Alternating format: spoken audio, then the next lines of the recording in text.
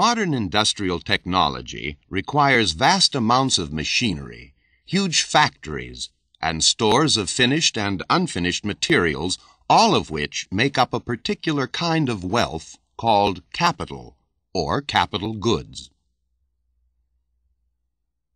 Such goods are devoted to the production of other goods.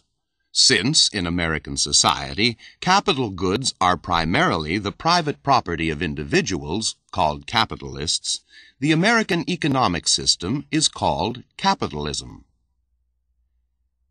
In a modern capitalistic society, the vast amounts of money needed to finance the purchase of capital goods are obtained largely through the selling of shares of stock in a corporation. The stock is sold to the public through an investment banker whose business is to help companies raise money. As long as the economy is healthy, as long as businesses are operating profitably, and as long as people are confident about the future of business, enough of them will willingly risk their savings in a variety of new or established business ventures to keep this process going. If something happens to shatter this confidence, People become afraid to risk their money and the economy is in trouble.